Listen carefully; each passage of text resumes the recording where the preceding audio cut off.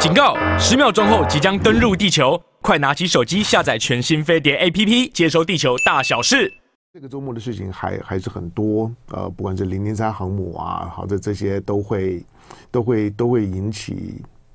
它它是一个它是一个深远的课题了哈啊。那今天的待会的这个这震惊的龙凤配呢，这个我们大概会谈到。好，那呃欧欧洲的战场上面，因为现在今天已经六月二十了，六月二十。呃，月底除了有环太平洋军演，环太平洋军演，呃呃之后就是北约的峰会哈。那九百等呢，呃就要去欧洲。那这次呢是在西班牙，在西班牙呢要举行峰会。好，那呃北约要举行峰会啊，大家动作都很多，你会越来越感觉到呢，欧欧洲北约不只是欧盟跟北约之间的矛盾。啊，包括北约呢，北约呢都可能会开始分裂成欧约跟美约，在内部啦。虽然北约北大西洋公约组组织呢，顾名思义呢，它要它要共同的共同的确保呢，整个的北大西洋两岸的这些的国家，欧洲跟美国的安全集体安全制度，在北约第五条的这个就说呢，集体安全体系。那可是。实际上面，当今天大西洋的两岸开始开始出现了这种的对许多议题以及总体发展的这个方向上面的利害，那自己打自己，美国在在在极力的打压呢，欧盟的欧盟的统合跟崛起。老实讲，对美国来讲，欧盟的统合是他是他的国家国力跟影响力最大的威胁。还还不见得是俄罗斯，还不见得是中国。中国跟俄罗斯对美国来讲，只是想显而易见的这种假想的。最难处理的是，是是比自己更更强大的朋友，就跟同班同学一样。那同班同呃同学成绩比你好的时候，成绩快超过你的时候，那个呢，对学霸来讲，那个压力特特大。好，那呃，因此。北约呢，也也开始慢慢的在它的许多的议题上面，我认为越来越明显的分裂成美约跟欧欧约，欧约跟美约呢，对于像乌克兰战争的看法跟处理的模式呢，就不太一样。不过呢，北约呢，毕竟呢军事挂帅啊，美国出的出出的钱多，美国的份子钱多，所以。呃，美国的讲话呢声音大哈，所以呢，你你听到北约的时候呢，基本上美国说说了算。美国如果没有说话的时候，那你要听谁说呢？听 Boris Johnson 说。那 Boris Johnson 呢，基本上面他的讲话呢，大概就是代表美国呢发言。那这呃也因为有 Boris Johnson 啊，你更能够看得出来，就是说欧陆主义呢跟大西洋主义之间的矛盾呢越来越越深化了。这也是国际政治的一个长远的课题。这是过去几十年里面呢，其实呢不太清楚的脉络。不过呢，在最近这几年，尤其呢一场的乌克兰战争啊，把大家呢都都打回原形啊，都打出了自己的本本性啊。那都以真面目示人之后呢，大家呢就不装了哈。那本来呢就不是同一挂的。好，那现在三千多位的观众在我们的线上来继继续呢，把财经数字提供给大家。这是这段时间以来呢，你需要特别关注的，因为它不会只只是只是呢，二零二二年呢开春，现在是上半年快要过完了，还十天嘛哈，它不是只是二零二二年上半年的事儿。那今年呢？过完年之后呢，整个的整个全球的资本市场呢，开始开始出现了非常早就预期到的非常强烈的负面讯号。那这些的负面负面讯号呢，导致呢资本市场当中的股市、汇市、债市啊，都是都是呢不断的呃，就是不断的受到冲击。那这种三三三市齐杀的情况啊，是呃最近这两三个月。在在国际的资本市场当中来讲，如果你全身而退，而且呢手不见了，就是说全身而退之后呢，没有呢，当然有有有些很厉害的高手，那个那个那那那个是我没有办法评断了哈，那个人家是是仙了，那个我没办法，我只说一般一般而言，一般而言，那股汇债呢三世齐杀啊，让你呢几乎逃无可逃。尤其在这段期间以来，不只是三世齐杀啊，那你有一些有一些觉得我可以，我可以，我可以躲到一些新的投资商商品，我可以呢，我可以呃，除了黄金以外，真正的黄金，数位黄金杀的更惨哈。那真真正的真正的黄金呢，其实还好，就是几乎不太不太动，还稍微呢小小涨一点点。好，那呃，我们看呢，台股台股呢跌了百分之一点二五，跌一百九十七点，一万五千六百四十一点收盘。那成交量呢，你看起来是放大到三千一百五十三亿，但那个是呢，因为最后一盘的时候，最后盘的时候呢，因为一些国际投资机构的权重的调整哈，那换股操作，所以呢，最后最后一盘的时候呢，蹦出了大概呢五百亿左右的量吧，大概有五百亿。那所以呢，实际上面的量能大概两两千五百亿左右哈，大概还还是在一个。常态量，那下跌，但但是呢，量有稍微放大一点点，但没有放大很多哈。那台台股呢，上一周最大的特性啊，配合的这个就是除权息的季节，那台股呢跌破一千一万六千点，要那你说那那那什么时候会再站回去？那不知道了哈。希望了，希望希望可以可以站回去。就像上上礼拜你还在讲说一万七一万七，好，那那上个礼拜呢，不要说一万七一万一万六都已经破了。好，再看呢，陆港股的部分呢，呃，港股呢，上个星期五呢，涨了百分之一点一，涨了两百二十九点，两万一千零七十五点收盘。那上证指数跟深圳指数呢，也都是收红的。上证指数涨了百分之零点九六，涨三十一点，三千三百一十六点；深圳指数涨了百分之一点四八，涨一百八十点，一万两千三百三十一点。哈，所以陆港股呢，全数收红。呃，那我就不再提了。我已经我已经跟你讲过了。我我我我说这个这已经是呃几个几个月月前，可能有有三三四个月了吧，一直在提醒你，就是说全球股市，如果你真的手痒，那比较有可能会偏多的是在是在陆港股的部分，特别是陆股的部分。我说陆股呢，在在十年线以下，那个十年难得一见了。那在十年线以下再跌都有都有限，也就是说，如果你那个时候呢是在是在是在你哪哪哪怕你说三你唐香龙三三千点在在讲，但它还跌跌破两两千九，那一百点怎么样？现在上来已经三三千三了，涨一成多了。好，那呃，当我我我说了，我不是行行家啊，我我只是长时间看了，会有一些呢自己的想法。好，那再看呢，呃。雅股，雅股在上个星期五的时候的，呃，日经指数呢跌了四百六十八点，跌百分之一点一点七七。那韩股呢跌十点，哈，那跌百分之零点四三。所以上个星期五的日韩股市呢收盘的时候呢也都是收收黑的。好，不过今天开盘了之后呢，日韩日韩股股市呢今天是开红盘了，日经指数现在上涨一百七十四点，涨百分之零点六七，两万六千一百三十七点。收盘，南方中组指数呢开在开开低盘之后呢，又又杀低啊，杀低，现在下跌十九点，跌百分之零点七九，两千四百二十一点。所以呢，韩股呢是现在是跌的，但日日股呢是涨的。不过呢，日日股呢 最近要留意一下，因为 日本的。日本的日本的通通膨呢，第一季的通膨呢，大概还还是负的，不过它第二季呢，很明显的上来，现在大概超过百分之二。那因为呃，日本的日本的日本的国民储蓄的情况不理想啊，所以所以现在上来了之后呢，对于日本的社会压力呢，其实也蛮大的。尤尤其是日日币呢贬破一三五之后，现在普遍的认为呢，日日币呢有可能向一五零去靠拢。那上个星期二的时候呢，我我们呃在呃陈凤金和我在星期二的东南西北龙凤配里面呢，我们谈了一段呢，谈了一段的日日本的的的问题啊。那嗯，日本日本日本现在现在是嗯开开始有酝酿那个完美风暴的味味道，就是安倍的三三支箭呢射了之后呢，嗯，没有中中靶心。相相反的，他可能本来是要射射一个射一个人头上的苹苹果，结果射歪了，射到头了。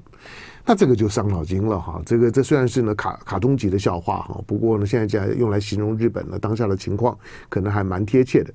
好，那再看呢欧股的部分，欧股的三大指数呢星期五深夜收盘的时候呢涨跌互见哈。英国呢跌了百分之零点四一，德国呢涨了百分之零点三六，法国呢跌了百分之零点零六。美股，美股呢，大概就是今天的，日股还能够收红的原因，因为道琼指数呢跌了百分之零点一三哈，跌三十八点。盘中呢，其实开盘了之后呢，开红盘但震荡了，就是星期六的星期五的美股呢是是震荡盘。那上下这震荡啊，大概大概都有一百多点的空间哈，但收盘的时候呢，小跌三十八点。但是呃，S M P 五百呢涨了百分之零点二二，那涨八点。科技类股的 Nasdaq 呢涨比较多，涨了百分之一点四三，涨一百五十二点，一万零七百九十八点的位置。那费城半导体呢涨了百分之零点四六，涨十一点，两千五百七十八点收盘。好，那这个是呃欧美欧美股市啊，那。呃，台子期的夜盘呢是跌二十三点，一万五千一百七十九点哈，那九万九万零七百七十四口的成交量。呃，我看一下，嗯，看一下这个呃。台台积电哈 A 台积电的 ADR，那因为美股呢美美股在在星期六的时候呢，科技类股是涨的，所以苹果啦、微软啦、Google 啊，在亚马逊啊、Tesla 呢都收红的。那台积电呢，台积电呢也也小涨了百分之零点五七哈。那台积电的 ADR 呢刚好收在八十五块美元，所以小红啦，但是没有太红哈。那台积电的上个星期五在台股市场当中是是面对呢，就是嗯。这个五百元保卫战了，之前可能你会觉得台台积电要上七百，没有没没上去，到六百八十几的时候呢，很多人呢勇于呢勇于呢奋奋进，下来到六百的时候，市场上面呢会冲刺的那种六百以下闭着眼睛买。我也我我我没有要去嘲弄任何，我我只说这个在市场的当中来讲，你不能够听喊盘啊，就是。呃，很多时候还还是要自自己做的功做点功课。当然，理财呢要趁早，要要趁非常早。这点呢是我特别特别强调的。我们的我们的听众朋友们、观众朋友们，你尤其要帮你的孩孩子想，他们必须呢，如果他们能够能够呢服从巴菲特讲的，就是决定你一生理财成败最关键的时间呢，不是你的眼光。你的你的眼光呢是永远没有办法呢，很清楚告诉你说，台积电六百块以下闭着眼睛买，现在都已经快快到五五百块以下了。台的台积电破五百是一定会看到的，以现在的国际盘的走势是一定的。那那接下去是不是喊说五百块以下闭着眼眼睛买？我也不会跟你这样讲。但是如果你有一个一个比较比较长线的耐心跟眼光，就巴菲特告诉你说，只要你你现在就我们不要讲多，你二十岁呢，你你开始做做投资，你可以不太在乎你的眼光，只要不要去选选到那种的烂股票，挑挑挑指指数啦，挑挑这种重量级的股票，像是道琼的三十只的成的成分股，它会变成乐乐色股的机会微乎其微。那你你你如果你你如果如果挑挑的是这种的这种的指数的话，三十年的时间到了，你真的到退休的时候，真的需要用钱的时候，他给你的回报呢，一定是非常充分、非常非常惊人的。时间时间是最重要的影响投资成败的因素啊。好，那但是这段期间以来呢，虚拟货货币的虚拟货币呢，在在周末的时候啊。很可怕，它它不止跌破跌破，就是比特币不止跌跌破两百啊，它甚至于呢跌到跌到跌到呃不不不止跌破两万了，甚至跌到呢一万七千多。好，但跌跌到一万一万七千多，跌破两万之后呢，在在星期一的时候呢，为了安抚你的情绪啊，避免你呢就是 Monday Blue 啊 Blue Monday，那因此呢，它爬回来爬回来呢，到现在两万，现在是两万零两百五十四。那比特币呢？过过去二十四小时涨了百分之六点四四。你看，哇，涨这么多，对它，因为它它杀的非常非常深哈。那你还是要要要要留意了，因为因为因为当全全球当美国美国升息三码，台湾呢也用用比较变相的方式呢升升升一码，然后然后呢然后呢升存款准准备率，让你呢让你呢比较无痛的情况下面。呃，让让很多的在货币面当中，让通膨，其实全全世界都都希望通膨能够软着陆，软软着陆就想办法让通膨安乐死。那能能够让通膨安乐死，但哪有这么的简单？啊？是，以现在的国际的震惊情势来讲，通膨没有安乐死的可能。那你就是要做做做非常非常长线的这种的避险的准备。那你说啊，上半年已经已经跌跌很多了，嗯，下半年我不敢跟你说跌更多了，但就是告诉你，就是天上掉刀子下来的时候，不要不要接啊，啊，不要不要不要什么都伸手想要想要想要接。那但是你说什么时候会出现反转的讯号？我也会我也会以我这种外行人的身身份呢，会会去帮大家留意一下。那有讯号的时候呢，你会你会听得出来我的讲话的，因为有关于这些像财经啊、军事啊这些方面的问题，你会你会注意到我说话会比较保守一点。保守一点就是说我绝对不管跟跟你去跟你去去贩卖那种就是说全知全能的，我不是。好，那但是呃，我我的我比较有有把握的，就是有自信的，我也会很很清楚的跟你说。好，那我们的听众朋友不管在在哪里，就也在在跟大家呢说早安。那我们的现在的听众啊，四呃四千多位的观观众呢，在在我们的线线上了。好，那呃，我们的观众朋友们好，有人有人非常肯定唐香龙的话痨，对的。那呃。潇湘夜雨觉得唐香龙呢是世世界级的懂王，感谢 都没有关系啦。呃，反正我我一直觉得我有一个很我自己觉得我有很大的优点，就就就是我经得起调侃、嘲弄、羞辱、攻击，那呃贬义都都都都都可以。因为我觉得，我觉得做做新闻工作啊。除了好，你看，你看我我我手上这么这这么多的多东西，我每每天，我昨天稍微稍微稍微整理了一下，说我每天大概要要要看多多少多少的东西，比如台湾的台湾的我我当然一定要看看看中时，看联联合，那呃自由时报我会我会会看一下，但是但看了之后，那自由自由时报有有一个有个很。很特别的，他看了会上头，看了看了之后，我我就开开始怀疑人人生，你知道吗？我我就开始深刻的怀疑，就是说我我所有的一切都是错的，我这一生根本就是个错误，我蠢蛋，就是就是，你知道会会让我有有这种看了之后会上头，然后怀疑人人人生，然后觉得自己生生不如死的，就两份媒体，一个一个一个是自由时报，还有一个是大纪元。我我我看完了之后，我我我承认哦，我看完了之后，我就觉得我这一生全全全错，我我所有所有曾经分析的、整理的、预测的一切全错，就觉得我对不起大家，我应该我应该我应该我应该自我了断。好，但是好撇开撇开这些媒体不谈，那大陆你说像新华、新华、新华网啦，这这这这些是我每天要看的一些重重点的东西呢，我一定要看完。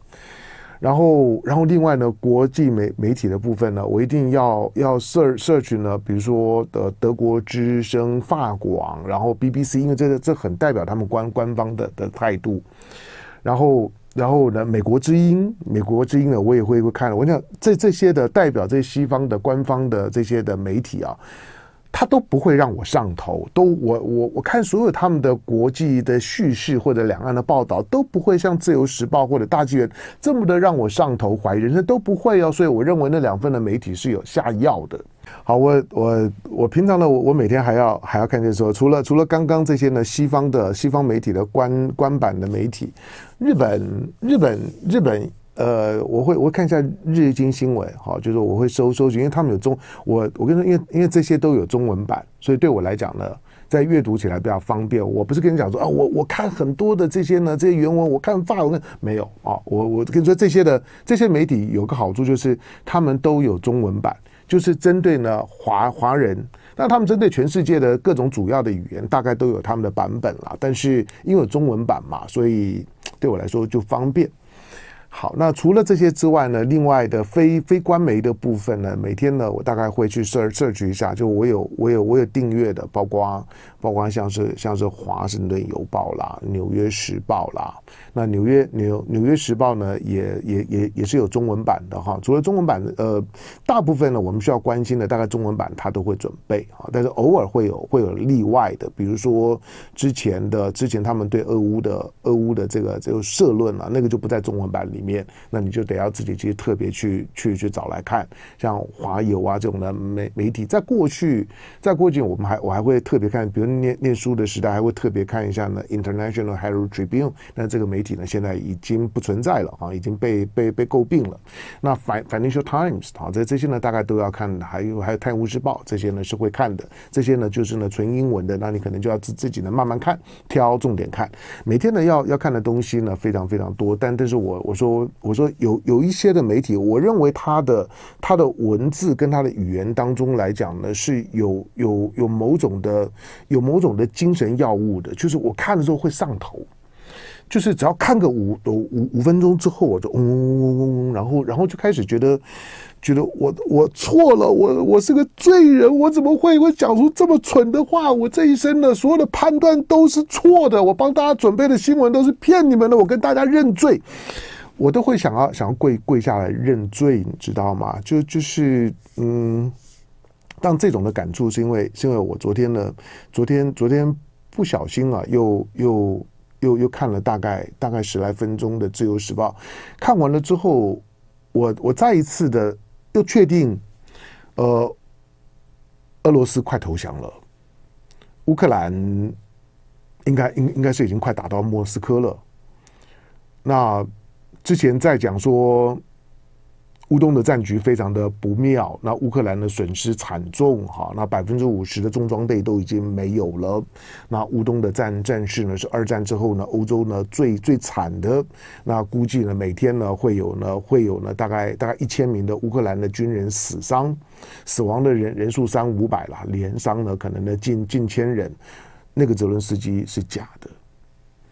因为网络上面本来就有很多假的泽伦斯基啊，你都都都不知道，很很多人说哇，那个泽伦斯基吉他弹的很好啊，那歌唱的很很好，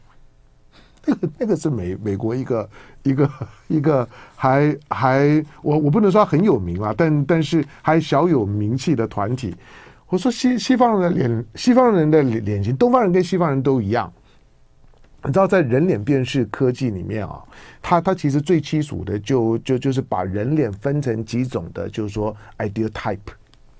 你知道吗？换句话说，有一些的基本的脸脸型是在人脸辨识过程当中呢，那那个那个是基本的，基本的就是说呢，要先能够辨识的。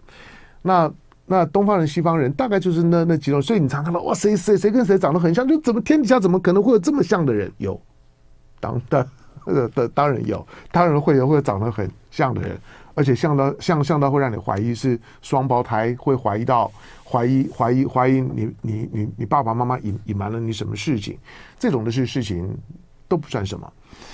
好，那来，嗯，耶，我准备的东东西呢，还乱乱了呃乱七八糟的。好，那那先先先谈一件。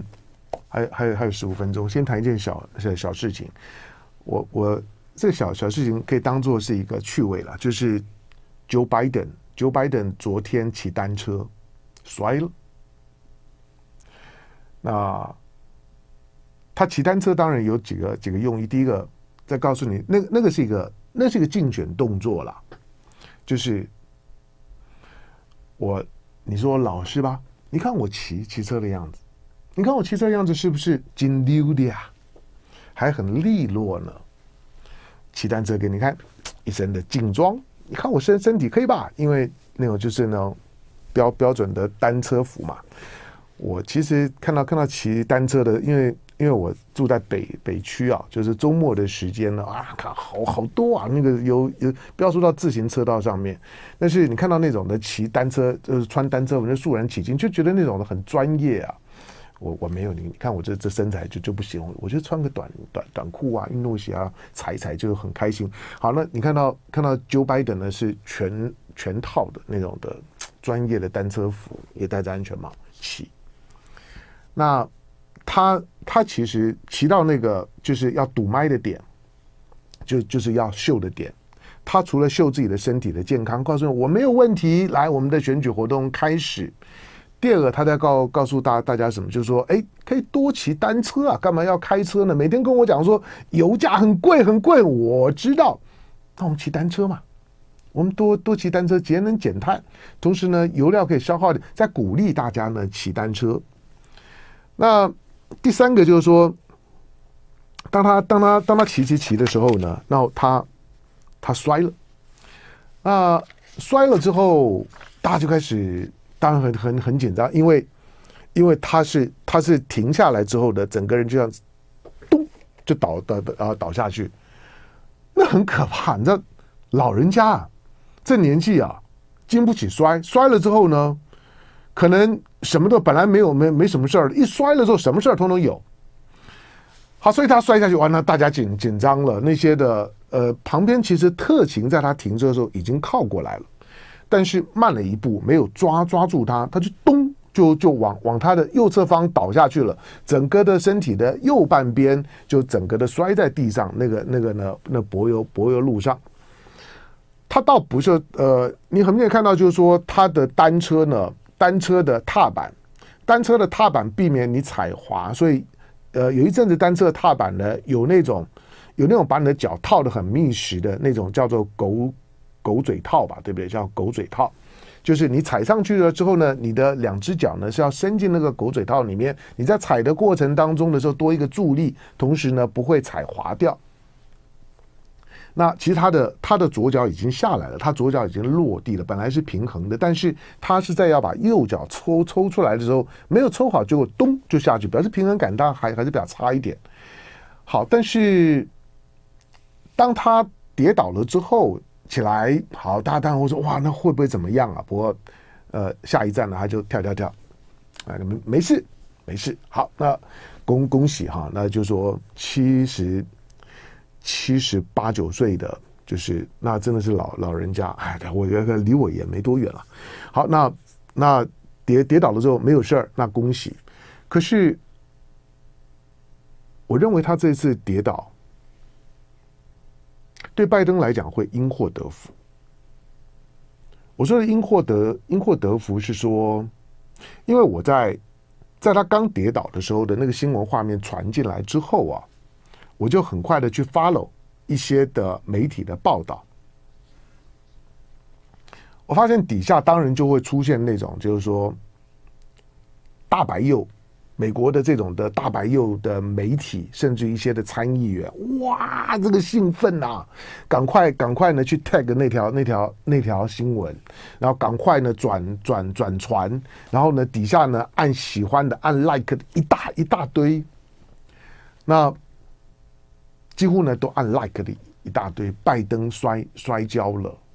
那反正就就是一直要找拜登出糗的画面，拜登摔跤了，就是所以呢按的就一大堆。可是这些呢，拜登摔摔倒了之后的嘲弄的这些的声音，我在我在注意那个留言板啊，就是几个的几几个的这个就是说媒体的留言板，我我后来发现就是说。在在初期的留言那一波的嘲弄过了之后，几个小小时之后，我也我也不认为那个呢是是网军的操作，但是我觉得开始出现一些需要这样笑他吗？他骑车不对吗？他七这七十几快快八十了，他能够能够能够这样子活活动，你到那个年纪你办得到吗？类似这样的声音。就是开始对这种的质疑的、吐槽的，包括一些公众人物的那些参众议员的那大白右的参众议员的声音，开始呢出现了平衡跟跟压压制，觉得觉得你怎么可以这样这么没有人性？有必要吗？政治需要搞到这样吗？这种话在台湾的内部啊，我也我也常常提醒，有必要吗？这么的没有人性吗？不过。因为因为这种声音出来了之后啊，你你会感觉到那那些的留言里面有一种有一种为拜登呢抱不平。他虽然虽然很多方面表现不好，可这个你你不能每件事情都这样骂，不对吧？好，所以那种的声音，如果如果在那个那个温度再升温一点了，那其中的其中选举的气氛的那个那个可操作的那个燃点就到了。还没有完完完全到，但是我觉得拜登如果有把握这波，自己不小心摔跤，但人没人没事儿，但大家都在笑我。然后可可是，呃，一方面我泰然自自若，但是呢，开始有一些人觉得那些在笑我的人太过分了。那他可以转，他会有些转变。尤其最近，因为因为因为美国的整个的华华府都在处理二零二零年一月一月六号的，就是说呢，国会山庄的暴动，那种的反反川普，看不起川川普，希望美国呢能够过一个 Trumpless，Trumpless 就 Trump 后面的加 L E S Trumpless。你看那个巨巨巨石强森，巨石强森身上穿的那 T 恤，他多壮啊！那个那个那个巨石强森的那个身上穿的 T 恤叫 Trumpless，Trumpless。那现在美国呢，看看起来呢，这些呢白这些呢白右，我我我觉得也在也在遭遇到呢空前的困境。川川普并不是没有反转的机会，我认为他现在急的要要去处理通膨，就是认为时间上面还可以，难度很高。不过我认为就是说这这次的这次摔摔跤，当然他不是假假摔了，你看那个动作是真的真的摔啊。那他他真真真摔，但对他来讲呢，可能是因祸得福。好，我们再来看今天早上呢最新的，就是刚刚有听众朋友们的，好就回应我们这么点菜好了。再讲到呢，哎，我今天早上的